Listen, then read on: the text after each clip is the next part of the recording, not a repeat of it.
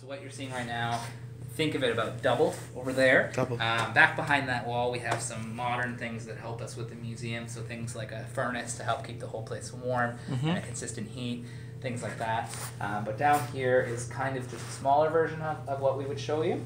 Um, What were these walls made out of? mostly stone. Actually, Stone? all stone, just painted over.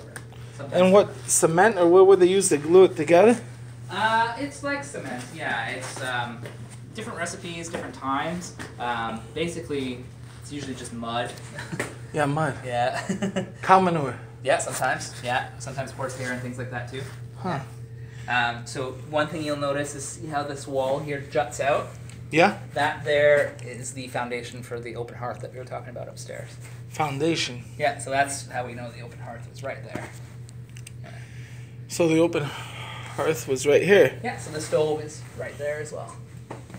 Oh, the stove we just came from? Yeah, so right up here Where, is where the where stove are we? is. Let's see how this works. Oh yeah, this is the stove. Yeah. All right. So what is a hearth finally? I, I thought it's like a fireplace in the middle of the house or. Well, uh, you can hearth. A couple different ways you can talk about a hearth.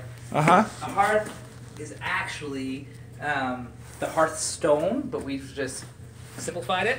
The hearth stone is kind of the transition stone from your fireplace to your living space. All right. So it's that stone that gets nice and warm. A lot of people sit on the hearthstone, things like that.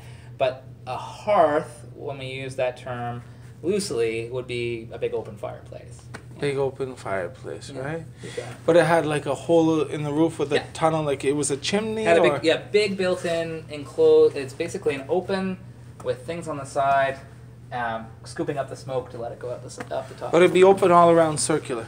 Uh, except for the two sides, you'd have a big open, but it, you can walk right into it basically. All right. Yeah.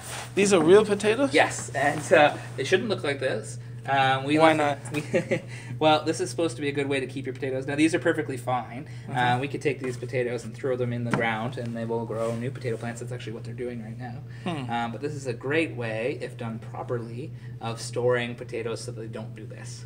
So I grew up on a potato farm in the in the um, Algonquin Park area, Huh. and uh, this is how we kept our potatoes. And as long as you So once they're good from the field, you bring them in, into something like this. yeah, put them in a big pile of dirt basically, and uh, you take the potatoes from the top. So the ones that are getting the most light when the doors are open, you're eating anyway. Now the main reason why they're kept in the basement is because that door would almost always be shut. Okay. Um, It'll be dark. So Yeah. it's dark. so they wouldn't grow like this. But That's again, because of the light. you got it. Yeah, light and just because potatoes want to do that naturally. I mean, they are a seed. So All right. Got you. So they're seeds. That's what they are. yeah, oh, yeah. Potatoes are seeds. Yeah, smash your head. Yeah.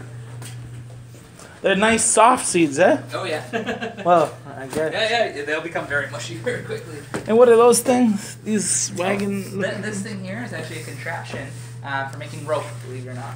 making rope. Yep. So they'd have to make their own rope too. Nice. And they were drinking beer or wine? Uh, actually, a little bit of everything. So wine was. Uh, see, when you talk about Mennonite families, it's difficult uh, because every